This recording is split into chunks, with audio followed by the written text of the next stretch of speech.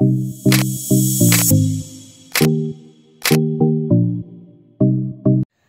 Assalamualaikum warahmatullahi wabarakatuh. Ketemu lagi dengan saya di channel vlog berita. Oke teman-teman, hari ini tuh ada kabar berita dengan judul Cerita penghulu pernikahan Din Samsyudin dan Rasda Diana Sempat grogi dan gemetar.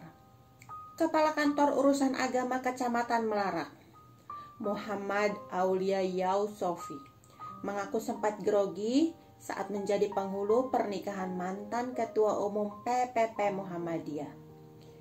Din Samsudin dan cucu pendiri Pondok Gontor, Rasda Diana. Selain disaksikan seluruh petinggi Pondok Gontor, Sofi mengaku baru kali ini pernikahan menikahkan tokoh nasional.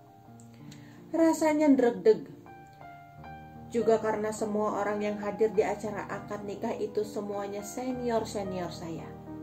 Tetapi saya sebisa mungkin tampil profesional dan jangan sampai ada kesalahan sebagai petugas pencatat pernikahan tadi, kata Sofi.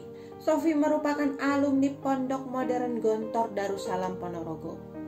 Sofi lulus dari salah satu pondok terbesar di Indonesia itu pada tahun 2000.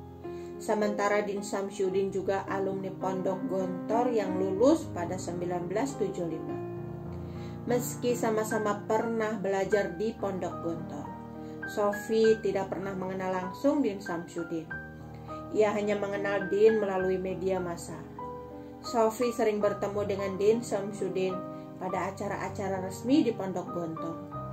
Hanya saja Jarak pertemuan tidak sedekat saat menjadi penghulu pernikahan mantan ketua PPP Muhammadiyah tersebut.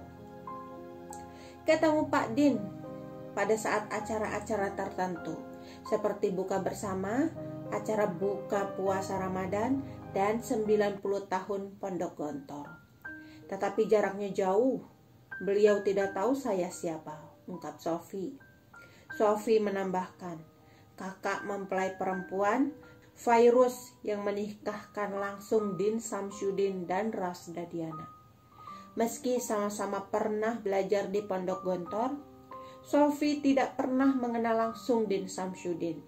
Ia hanya mengenal Din melalui media massa. Sofi sering bertemu dengan Din Samsudin pada acara-acara resmi Pondok Gontor.